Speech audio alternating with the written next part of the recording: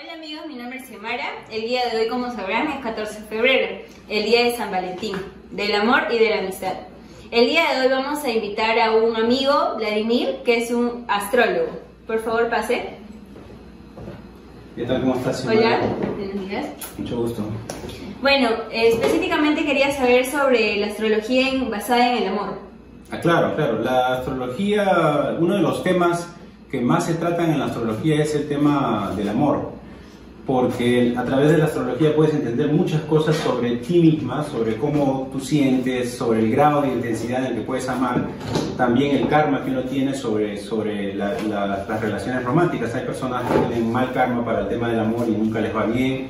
Hay otras personas que sí tienen buen karma y viven relaciones duraderas y muy favorables. ¿no? Entonces, eh, la astrología tiene mucho para hablar sobre el tema del amor. O sea, se podría decir que el karma es la segunda opción de la astrología. No, el karma es, eh, digamos, el karma es todo lo, lo que, lo bueno y lo malo que uno ha hecho en diferentes vidas. ¿no? En las vidas pasadas uno va realizando cosas buenas, cosas malas, y en, la vi- en las relaciones románticas uno también siempre comete errores, hace cosas muy buenas, eh, va acumulando una cantidad de karma, una cantidad de crédito. El karma es como un crédito, ¿no? Que cuando naces en esta vida, según la cantidad de crédito kármico que has acumulado, en el tema romántico específicamente, eh, eso hace que tengas una vida muy bonita en tus relaciones amorosas o tengas una vida muy trágica ¿no? en, en el tema romántico. ¿no? Eso lo determina tu karma, ¿no? tus, tus, tus acciones de vidas pasadas. La astrología puede comenzar de una amistad y ir al amor y quedarse para siempre o... o- La astrología te puede ayudar a entender, eh, si una persona siempre va a ser tu amiga y si solamente va a llegar a ese nivel de amistad, porque ya la relación de pareja es otro nivel. Entonces, cuando tú haces compatibilidades de la carta natal de una persona con otra, te das cuenta si, mira, esta persona está bien como para tu amigo, pero como pareja no. ¿No? O también hay otros casos donde, donde yo les digo a las personas, no, mira, esta persona, o tú vas a estar con una persona que primero va a ser tu amiga por muchos años y después ya va a ser tu pareja y vas a quedarte mucho tiempo, ¿no? Que es más o menos lo que tú me dices. Sí, sí se puede ver eso con la astrología, ¿no? Y esa persona que usted puede hablar, por ejemplo, ya hoy día le dice quiero que me lea la astrología, algo así, y usted le dice algo y esa persona se envasa a eso y espera a la persona que usted le ha dicho, ¿esa es una astrología también? O Sí, claro, esa es una forma de, de- de aconsejar a las personas, ¿no? de esperar. Sí, eh, claro, lo que pasa es que la astrología te permite entender, por ejemplo, si tú estás en un periodo muy malo, que dura por decir cinco años, entonces a veces uno quiere tener una relación amorosa ya pronto, ¿no? Hay clientes que me dicen, no, yo este, este, estoy solo, quiero tener una pareja, ¿cuándo va a venir? ¿Cuándo va a comenzar? Y yo le digo, no, pero mira, tienes que esperar cinco años para que realmente se active tu karma bueno y puedas este, tener una relación favorable. Entonces, eh, algunas personas, bueno, entienden eso y ya saben que eh, por lo menos cinco años en este caso tienen que esperar para que realmente su, su periodo cambie a un periodo más favorable para el tema romántico. Eso también se, se puede ver en astrología. Disculpe Vladimir, bueno, acá Sí, tengo dime. una amiga que me ha preguntado sobre cómo es tu hombre ideal en, astrolo- en la astrología. Claro, interesante la pregunta. Eh, siempre está el tema de querer encontrar la pareja ideal, ¿no es cierto?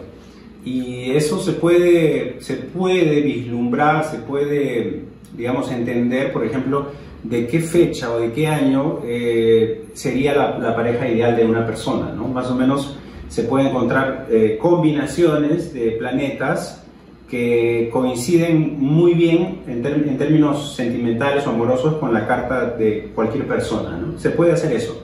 Ahora, de que encuentres a esa persona es un poco más difícil y, y- y dónde esté esa persona también es Claro, un poco más difícil, pero sí se puede hacer la búsqueda de tu pareja ideal. Hay un reporte que se puede hacer sobre eh, cuándo, en qué año, en qué fecha más o menos nació tu, tu pareja ideal. Y si eh, por cosas de la vida encuentras a esa persona, genial. Y también te puedo, se, puede, se puede decir por dónde, en qué, en qué países o en qué lugares del mundo puedes encontrar a tu pareja ideal. ¿Sí? Interesante la pregunta.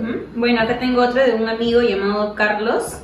Eh, ¿Cuáles son los signos del zodiaco más compatibles? Ajá, interesante. Eh, cuando hablamos de, de las combinaciones de los planetas y los signos, hay signos que usualmente al combinarse generan una mayor atracción, una mayor fuerza, eh, digamos, este, sentimental.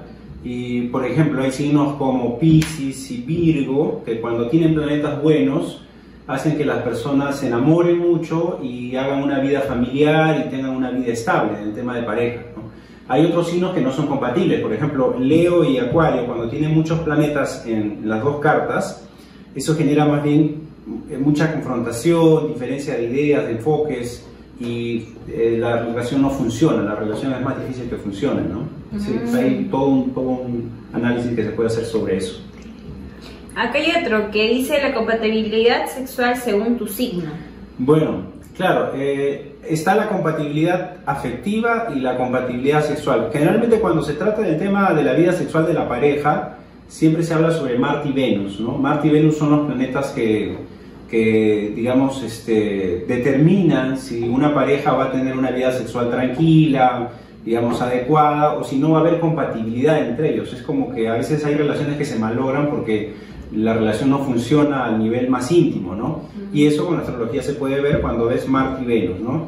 Si la pareja, por ejemplo, tiene Marte con Venus en el mismo signo, eso va a facilitar que la relación eh, funcione a un nivel de, de, la vida sexual favorablemente para, para ambos, ¿no?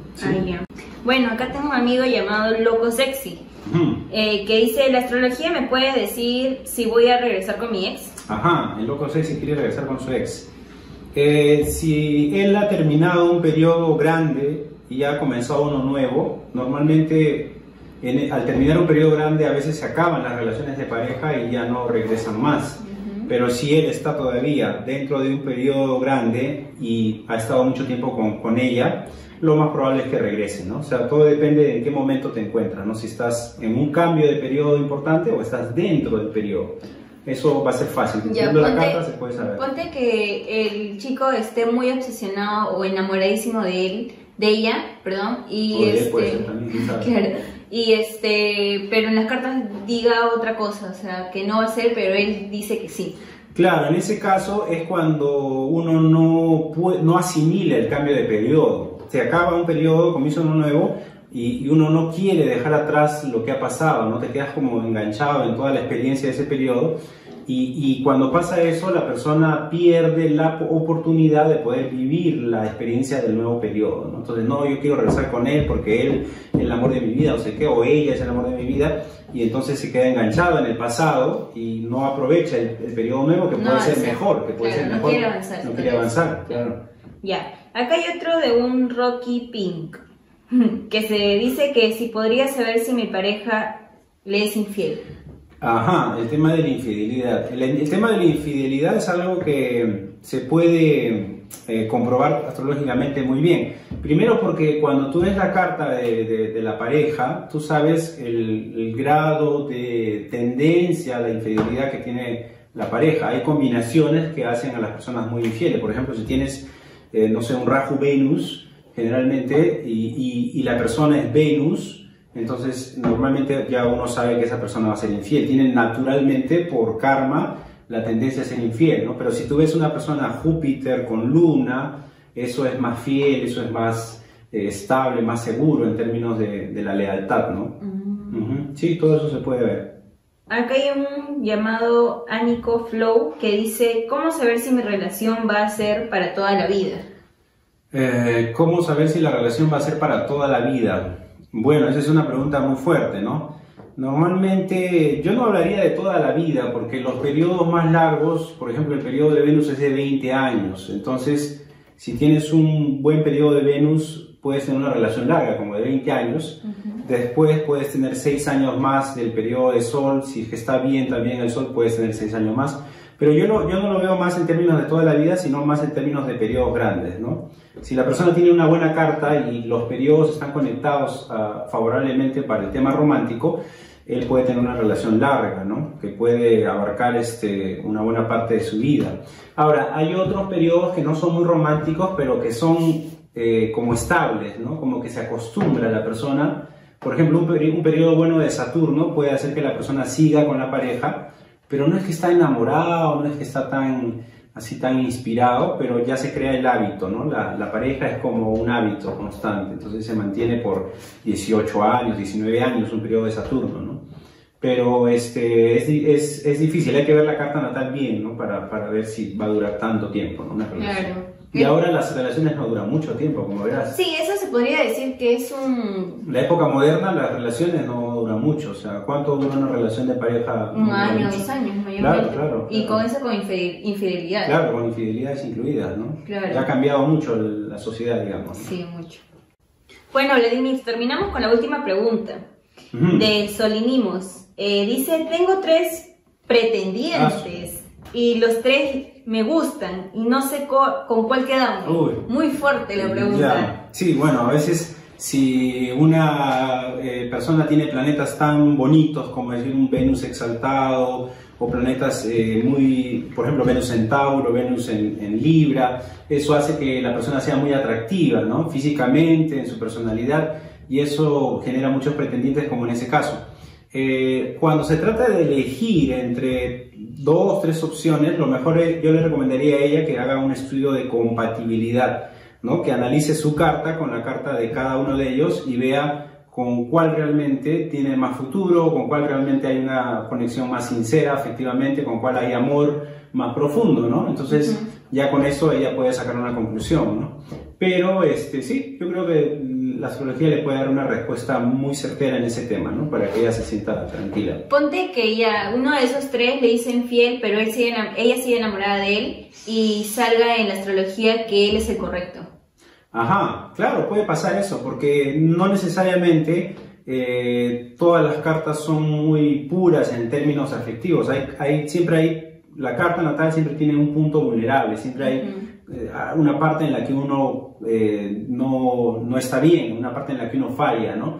Y de repente, justo para esta persona se le, le- se le dieron muchos tránsitos planetarios y todo apuntó, todo empujó a que él fuera infiel, pero de repente era, es como un evento único y no usual en su vida, mientras que para otro eso es algo común, ¿no? Pero para de repente para esta persona eh, fue solamente una cosa que pasó una vez y después ya pasaron esos tránsitos y ahora otra vez está bien este, en términos de lealtad y fidelidad, ¿no? Eso también sí se puede ver eso. Gracias Vladimir por tu presencia. Gracias, Xiomara, por, por la invitación. Eh, has respondido todas las preguntas que Esperemos tenía. que el público eh, le haya sido muy útil toda esta información sobre todo lo que puede hacer la astrología sobre su vida romántica, ¿no? Muchas gracias.